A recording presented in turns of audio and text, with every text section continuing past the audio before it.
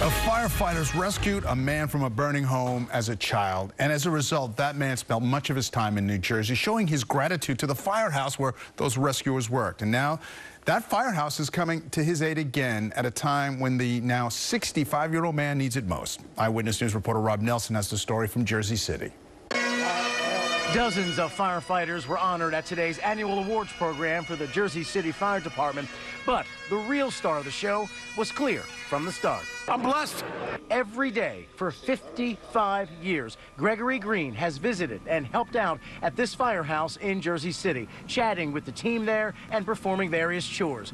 Well, today, the department paid a special tribute to the 65-year-old, naming Gregory as an honorary deputy chief. He had a scanner.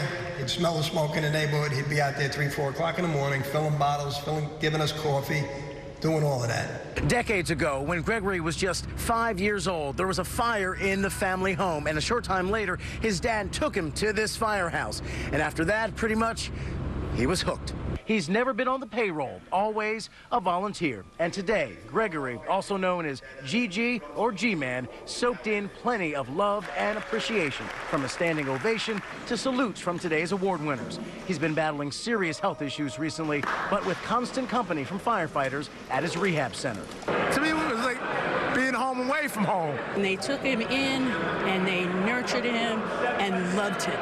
And because of that, he knew that he was loved there. They became his second family. Firefighters are undoubtedly a brotherhood, and Deputy Chief Gregory Green is a bedrock part of this family. He is one of my most favorite people in the world, and I say that sincerely.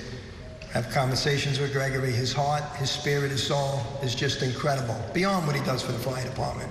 Type of person he is is incredible. It made me real proud. That's why I'm crying now. That's why I'm tearing now.